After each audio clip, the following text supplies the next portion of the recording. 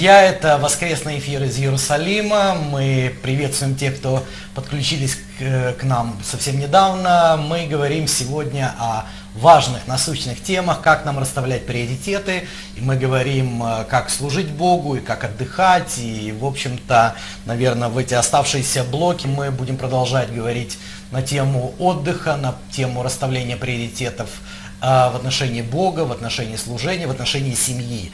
Поэтому последний блок мы говорили, а, отталкиваясь от мест Писаний, 2 царь 6 главы, в отношении Озы. Вот этот момент с Озой произошел, когда он, как вы помните, подставил руку, думая, что он может помочь Богу. И вроде бы его рвение было правильное. Да?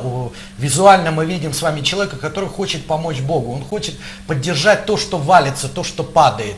И как бы э, на самом деле очень сложно говорить в церкви на эту тему, потому что э, люди могут неправильно понять, неправильно рассудить э, что как бы не нужно служить, не нужно ничего делать для Бога, нужно просто отдыхать, нужно просто балдеть, и нужно не подставляться, да, как бы соизмерять время и да, на всякий случай, потому что если вдруг ты протянешь руку, то через время ты можешь протянуть ноги.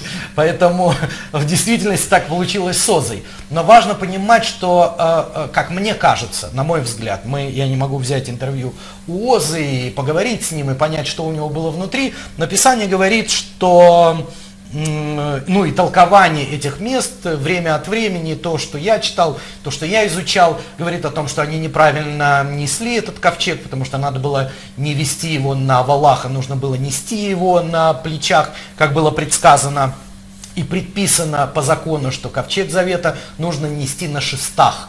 Э, это тоже очень такой момент, но как бы если бы это полностью было так, то тогда был бы поражен не только Оза, но и э, его брат Ахио, потому что он тоже там присутствовал, и нужно было бы поубивать вообще всех остальных, которые рядом несли этот ковчег, и в том числе и Давида долбануть сверху, потому что он самый главный, кто как бы начал это шествие и э, как бы так... Э, попытался по закону сделать то, что он хотел сделать. То есть это на самом деле была революция, потому что Давид хотел принести э, этот ковчег завета под свою палатку, хотя в этот же момент в Гаваоне стояла палатка Моисея. Можно было туда принести этот ковчег, поступить по-старому, но мы видим с вами Давида, человека революционера. Он взял и он был новатором. Он на тот момент взял и принес и поставил под новую палатку, под свою. И, в общем-то, э, этим самым он хотел объединить израильтян вокруг,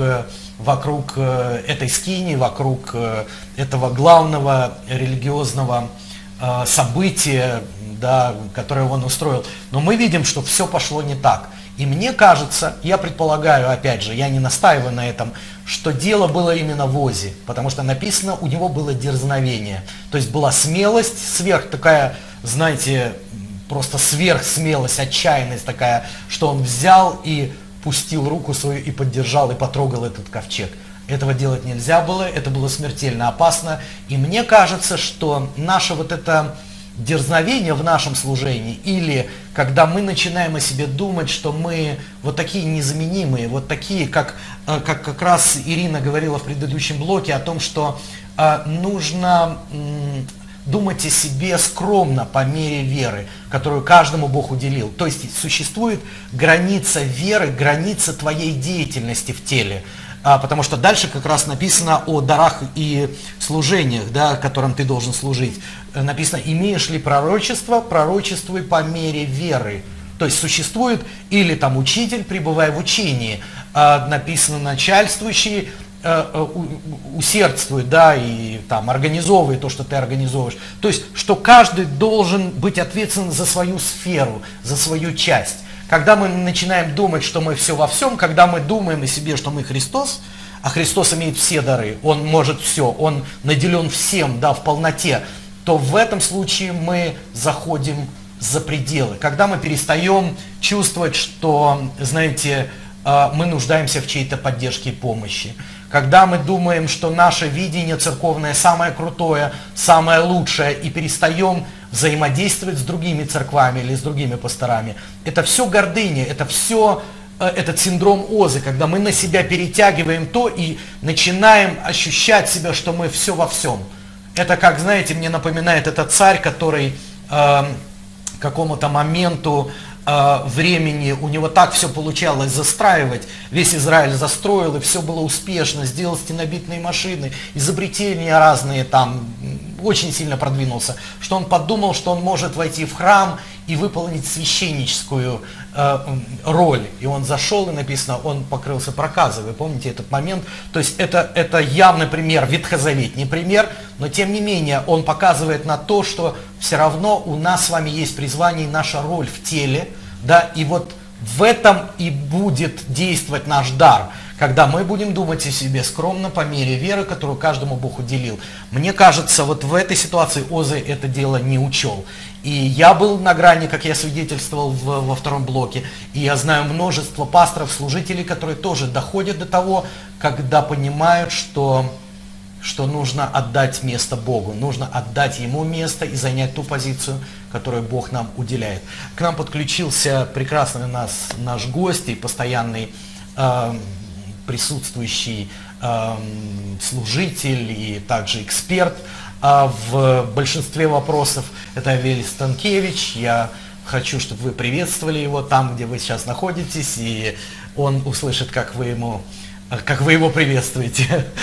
Передаю тебе слово, скажи, что ты думаешь. Э, ну, да, я с тобой тему. согласен э, по поводу того, что действительно нужно соблюдать э, вещи, которые Э, Бог нам подсказал, и быть готовым к тому, что я об этом, кстати, говорил в одном из эфиров, что нужно быть готовым к тому, что Бог будет менять наше служение а, э, по времени того, как э, мы будем к ним готовы. Нельзя сказать, что вот нас поставили на служение X, и мы будем в этом служении до пенсии, да, и нас туда да, вынесут на кладбище если Господь не придет до того времени. Э, Господь будет менять все, что происходит в нашей жизни. Э, Господь придет и скажет, ты здесь послужил достаточно, перейди служить в другое место.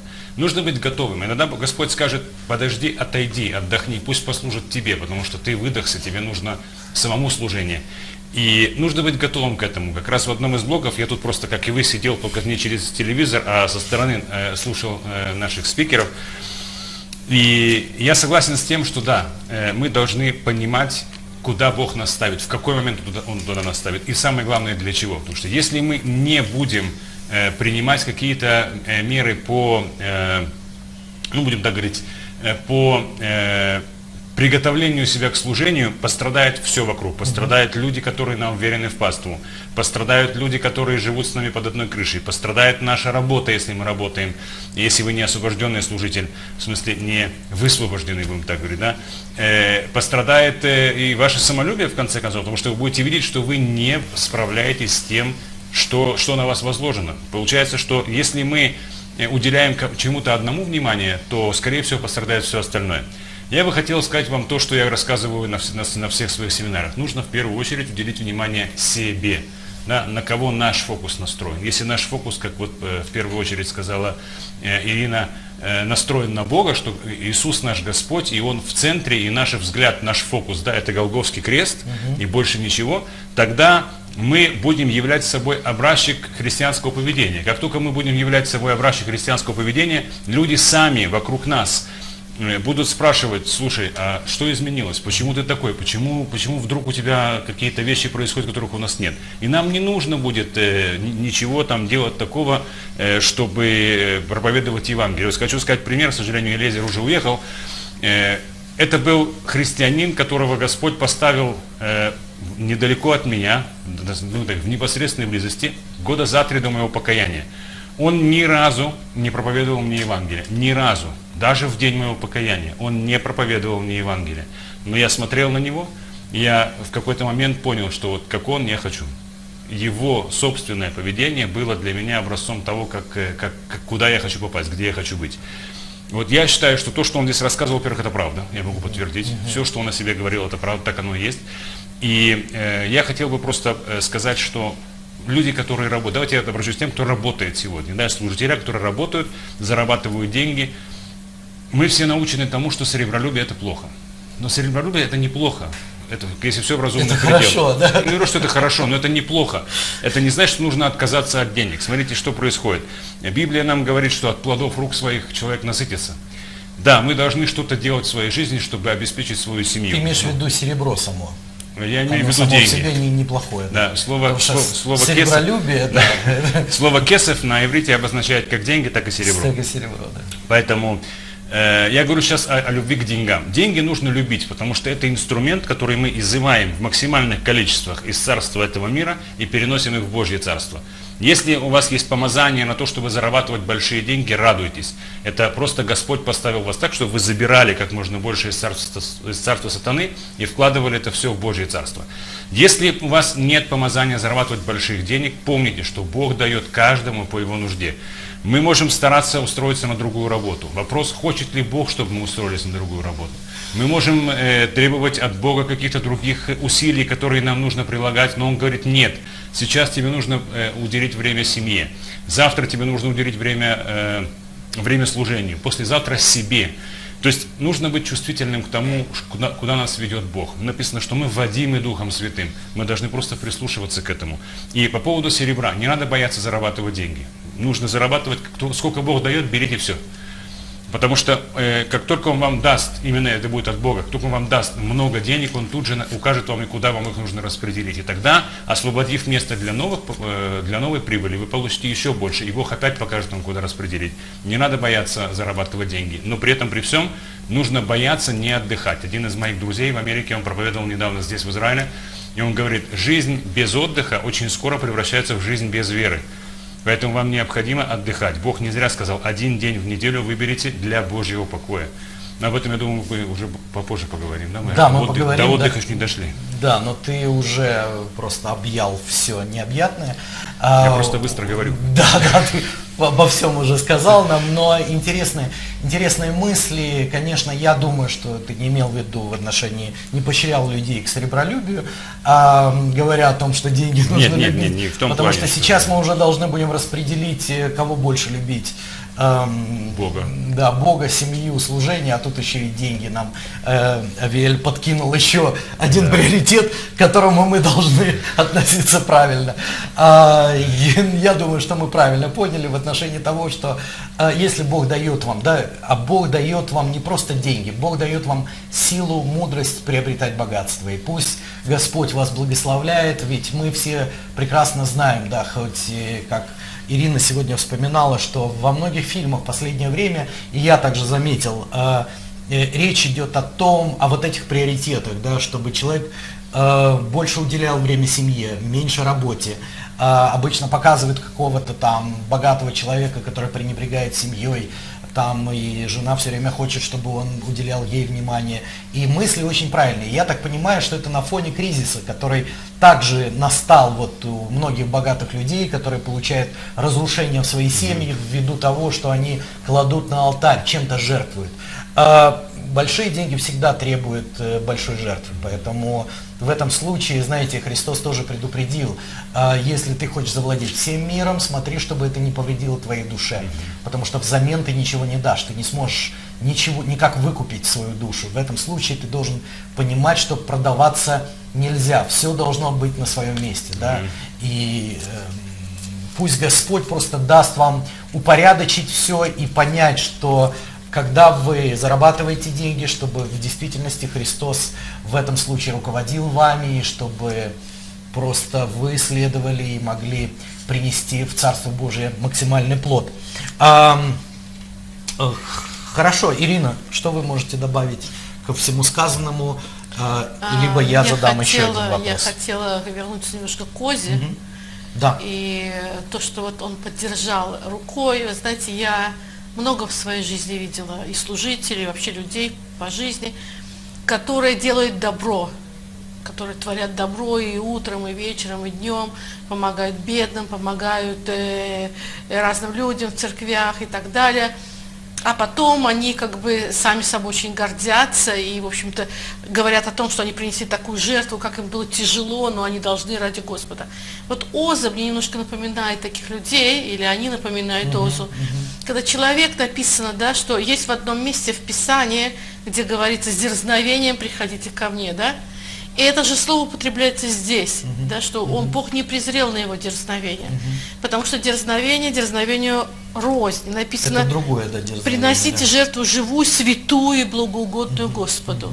Его жертва, она не была святой, потому что я думаю, ну я не знаю про Озу, да, но вот судя по тому, что Бог не презрел, оно было не святое дерзновение. Оно было дерзновение, я сейчас умру ради Господа и покажу всем, какой я крутой. Понимаете, я так это вижу, может быть, я ошибаюсь. Но у меня не раз был такое состояние, я, э, знаете, как этот фильм, там, «Хлебзавод», я, там, это, э, Шурик там играет, да, это я, все везде я. Понимаете, у меня был такой период в жизни, когда в церкви, там, здесь послужить, да, да, да, да. И если я сейчас спрошу себя, что же мной двигало, тогда я думала, я просто, ну, люблю Господа так. Сейчас понимаю, что за мной, мой мотив был, ну, грубо говоря, показать, какая я крутая. Может быть, я только так, но я думаю, что многие, даже не осознавая. Иоза так сделал, он, и Бог не, презрел, не презрел на жертву э, э, не святую и не благоугодную. Что такое благоугодное? Это благо приносящее. Да? Кому? То есть что такое благо приносящее, когда у тебя внутри есть мир и покой, и люди вокруг тебя в мире и в покое, которые ты не построил. Это есть благость, это есть благоугодное, да? Что здесь произошло, здесь другое произошло. Поэтому я считаю, что а, вот это вот мы, когда вот ты сказал, да, руку протянул, потом ноги протягивают. Многие служители, они протягивают ноги в буквальном смысле, инфаркты, да. У людей э, стрессы, депрессии. Знаете, сколько людей депресс- депре- в депрессии находится в, в теле Христа? Почему? Потому что а, надежды, ожидания не сбываются. На что ожидания? Бог ведь написано, никогда Он не подводит нас. Не сбываются ожидания на их роль в служении, не сбываются ожидания на их видение, их жизни, там день денег, славы, уважения. Да, не сбываются их ожидания на какие-то другие вещи, которые не угодно Господу. В результате они надрываются, они надрываются душевно, они надрываются физически, они протягивают ноги, они не могут уехать из церкви отдых- отдыхать, некому служить. Вы знаете, я много так слышала, мы тоже с мужем пастора были, мы говорили, «Вот, ой, я потом поняла по-другому, Бог найдет замену. Что значит некому служить? Дай людям. Сними с себя немножко спесь. Поэтому я считаю однозначно, что любая жертва, она будет угодна Господу. И если она будет святая, то есть мотивы ее будут угодить Господу, а не превознести себя или там что-то достичь. Ну, по поводу серебролюбия, просто один стих, э, это из Экклезиаста. Депрессивная книжка, конечно, но тем не менее. Да. Кто любит серебро, тот не насытится серебром. Кто любит богатство, тому нет пользы от того. И это суета. Э, казалось бы, да, э, к нам проп- проповедник, то есть царь Соломон, э, раскаявшийся в своих э, деяниях, не сильно благоугодных, кстати, он говорит, что нельзя любить богатство, хотя сам жил в роскоши и в богатстве, и он говорит, что не нужно любить серебро. На самом деле это неправильно. Любовь к богатству, это то, что, то в чем меня поправил Евгений, Э, я, может быть, немножко неправильно выразился. Любовь к чему-то это, это угождение. Э, Любовь в данном случае, то, что я сказал, э, это умение правильно распорядиться этим. Например, можно очень сильно любить Бога и говорить, ну Бог меня все равно любит, и я Его люблю, я могу все, да, и вот это вот неправильное трактование «все могу в укрепляющем меня Иисусе Христе», э, в данном случае это правильно уметь распоряжаться. Иногда вот то, что Евгений правильно сказал, дает человеку Бог денег, а человек начинает использовать это все на себя. И вот здесь начинается преткновение. Поэтому вот здесь то, что написано, любовь к серебру и любовь к богатству, это э, как раз то, чего следует опасаться. А вот умение правильно распоряжаться всем объемом того, что Бог даст, Он ведь может дать не только деньги, он может дать машину, дом, там еще как правильно им распорядиться. Вот это и То будет есть не та считать это правильная злом, не. Да, бояться совершенно этого, верно, да, что да. как будто ой, ой, это не святое. Да. То Почитать, этом- уважать да. это, да.